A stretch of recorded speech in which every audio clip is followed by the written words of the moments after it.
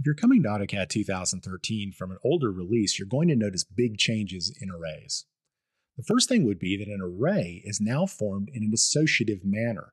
So this is not just a collection of balconies that were formed with an array, it is one array of balconies. It was formed with rows, columns, and levels, so it's fully 3D functional. And you'll notice that this array is able to follow along a surface that is not planar to any particular plane within the UCS.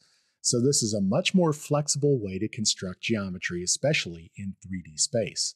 Now, the fact that the array is associative makes it very easy to edit. So the ribbon interface that we see along the top here becomes now a very easy way to get to all of the various editing functionalities that you're going to be able to take advantage of due to having an associative array control. Now, if we look at one more example, uh, we can look at some balconies that have been arrayed around a building here that takes advantage of some circular geometry. So here we could go ahead and again click anywhere on that array and we see that it is in fact one associative array of balconies. And here we've been able to take six arrayed balconies around a particular fill angle and we've been able to propagate it up by using level controls.